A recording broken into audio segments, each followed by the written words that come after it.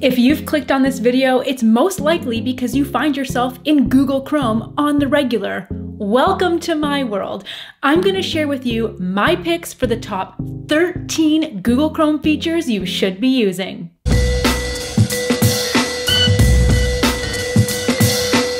Hey friends, I'm Tasia and welcome back to my YouTube channel where I share tech tips, app reviews, and a ton of Google tips. Seriously, once you've watched this video, check out my Google Tips and Tactics playlist. But let's not waste any more time. Let's get into the best Google Chrome features to make life easier. The first thing that you need to know is that all of these Chrome features are built right into Chrome itself. You don't need any third-party extensions or plugins. We have a lot to cover, including one of my favorite accessibility features. But first, let's start with all the things you can do with Chrome tabs. Tip number one, pin tabs. If you use the same tabs over and over again in Chrome, this tip is for you. It's definitely going to save you time. So as an example, I pretty much live in the Google ecosystem. So I always have my YouTube channel open and my Gmail and my Gcal and all that good stuff. So in order to easily access one of these tabs, we can just right click on the tab and select pin. So you'll notice that this tab is instantly shrunk down to the icon and it's pinned to the top left corner of my Chrome browser. Now it's worth noting here that once you've pinned a tab, you can open and close your other tabs or close your Chrome browser entirely. And then that tab will still be pinned to the top left when you relaunch your browser. If you want to unpin a tab for any reason, it's the exact same process. You just right click the tab, and select Unpin. Tip number two, move multiple tabs all at the same time. So let's say we want to move a few tabs to a second monitor or just reorganize our tabs. It's really easy to do so. Just like you would select multiple files, you can select multiple tabs. So we'll select one of the tabs we want to move and then just hold down the shift key and select the last tab in the group you want to move. Now all the tabs are selected and you can move them at your leisure. Now you might be thinking, but Tasia, what if I want to move tabs that aren't all right beside each other? Oh, I got you. Now you'll select the tab you want to move and hold down your control key on a PC or your command key on Mac to select the other individual tabs you want to move. Once selected, just rearrange that group as you wish. Tip number three, create tab groups. And yes, this is completely different than moving multiple tabs at the same time, but we are gonna utilize some of the same tricks we just learned in order to create these groups. This is a huge lifesaver if you're comparison shopping or you want to keep certain clients grouped together or email providers grouped together, whatever works for your organization. So using what we just learned to select multiple tabs, you can select any tabs you want to be grouped together. Then right click on any of the selected tabs and select add tabs to new group. Here you can name the new group and also add emojis if you so desire. Then you can even add a color in order to easily identify the group. You can also add a new tab to the group, or you can ungroup everything if you don't want the group anymore, and you can close the group or even move the group to an entirely new window. If you want to collapse all of the tabs in the group, just click on the title. And do the same if you want to expand all the tabs in that group. And you can also simply drag a new tab and drop it into the group at any time. And the same goes for removing a tab from that group. You can just drag it right on out of that group. And just when you thought, how many more tab tips can there be? Well, I have three more for you. And with that, here is tip number four, and that is to mute tabs. This one is a handy feature for those of us that are easily annoyed by those videos that autoplay on certain web pages. So if you find yourself on a site that has one of those annoying video ads and it's interrupting your experience, just head to the tab at the top. If that site is playing audio, it's gonna have a little speaker icon on the tab. Simply right click on the tab and select Mute Site. By the way, certain sites like Outlook, for example, will autoplay a notification sound when an email comes in. So that little sound icon would only appear when that audio notification is playing. But you can still use this trick to mute that and any tab. Tip number five, send your Chrome tabs to your phone. Yes, really. Now for this one, you're gonna have to have not only Chrome installed on your desktop, but also on your mobile device. So if you're in the middle of something but had to run out and want to finish something on the go, just head to the tab, utilize our trusty right click, and this time select to send to your phone. So here's what this looks like. Now I find you need to be in your Chrome app on your mobile device right as you send that tab, or else sometimes it can just get lost. So over on my phone, I've got the Chrome app open and look right here. This little pop-up near the top tells me I've received a tab. All we have to do is click on open to open up that tab. All sent from my Mac directly to my iPhone. So rounding out our tab tips is tip number six, and that is to open specific tabs on startup. This one is an oldie but a goodie, ooh, but darn it if it doesn't save you a boatload of time. If you always open specific sites when you're online, why not have Chrome do the work for you? For this, we'll head to the settings section of Chrome by clicking the three dot menu icon in the top right and selecting settings. From here, Click on On Startup on the left-hand side. Now here you're gonna have a few options.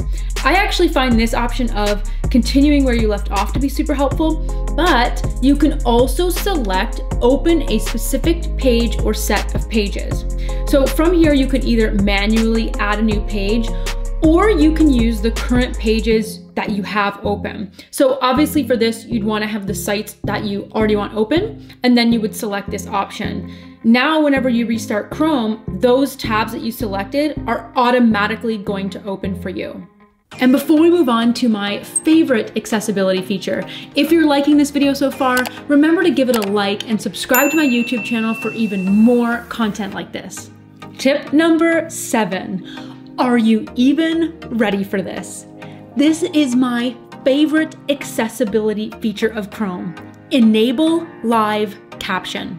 That's right, now you can have Chrome automatically add closed captioning to any audio or video file. And I'm talking video and audio files from the web and your local hard drive files. Yeah, I know. So here's how it all works. Let's head back to our settings section in Chrome.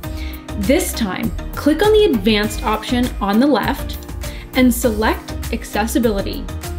Right here at the top, ensure live captions is toggled on. Now, another pro tip here is that you can even adjust some of your caption preferences like the size and style right here too. But here's what this looks like once you have it enabled.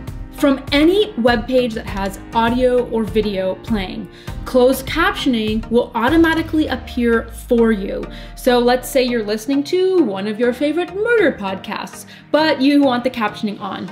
Right here at the bottom, the captioning auto starts.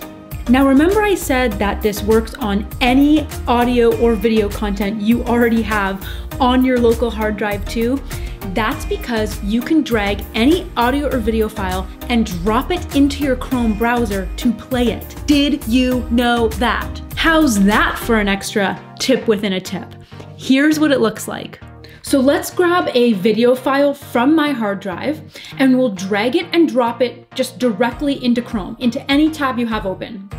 Instantly, a new browser tab is opened up and my file will automatically start to play in Chrome. And would you look at that? There are my AI generated live captions from Chrome. You'll love to see it. By the way, there's another way that you can toggle on and off the live caption option without always going back in and out of your settings. But you'll have to wait to tip number 11 for that. Tip number eight, utilize keyboard shortcuts. There are a whole whack of keyboard shortcuts. So I've included a link to all of them in their entirety in the description below. But here are two of my favorite, most used Chrome keyboard shortcuts. To open a new tab, just select Control T on a PC or Command T on a Mac. And if you want to open incognito mode quickly, just hit Control Shift N on a PC or Command Shift N on a Mac. Tip number nine, utilize Chrome's safety check. This is a must if you allow Chrome to remember your passwords. This is password protection to the max. Head back to your settings and on the left hand side, click the safety check option. From here, select check now. So luckily for me, Chrome hasn't detected any compromised passwords here. However, if you have some passwords that are showing as compromised, you're gonna have a red triangle with a white exclamation point in it, and you'll be able to review all the sites where your password is compromised. And Chrome will even tell you what you need to change in order to protect your passwords. Tip number 10, utilize guest mode. This is a perfect hidden Chrome feature for when someone else needs to use your computer. So Chrome is great because it syncs your bookmarks, passwords, and preferences across all of your devices, which is really great for you, but not so great if someone else needs to use your computer. So in that case, all you have to do is open up Chrome or a new tab in Chrome and click on your profile icon in the top right, and then select guest. A new guest tab is now opened up. Obviously, I still recommend you close your other browser tabs before handing over your computer or this really would be pointless. Tip number 11, integrated audio and video control. Ooh, this is a handy little feature. You can control audio and video playback from any tab. So think like YouTube videos or podcasts or any audio playing in any tab. I know so let's say you have a YouTube video playing. No matter what tab you're working in, you'll be able to have a quick view and control of which video is playing. So I'm playing one of my YouTube videos, but now I'm in another tab. So let's head right up here to the little music player icon beside your profile picture.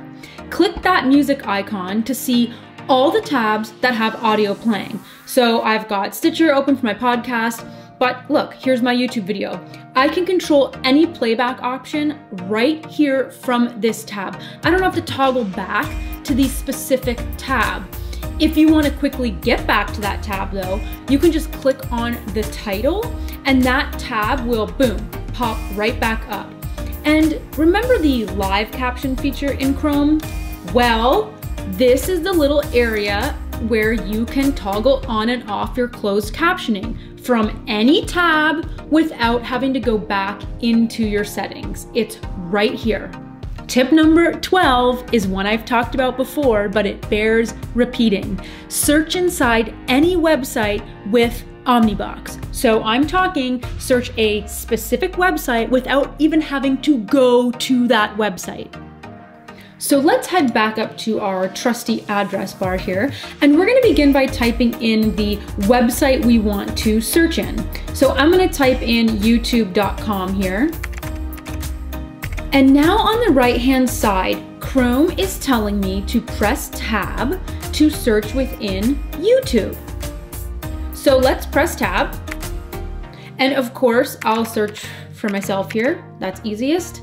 And then I'm gonna hit enter and I'm instantly brought to YouTube video search for my name without having to actually go to YouTube first. This works for Wikipedia or any other site that has search. And last but not least, we've made it to tip number 13. Use Chromecast to cast to any other Chromecast capable device. This is one of my most used Google Chrome features. There are actually a couple of ways to do this. First, if you want to share a specific website to say your smart TV, click the three dot menu icon in the top right of your Chrome browser and then select Cast. Chrome's gonna look for compatible devices to cast this web page out to. Simply select the device you want to cast to, and that web page will be shown on that device.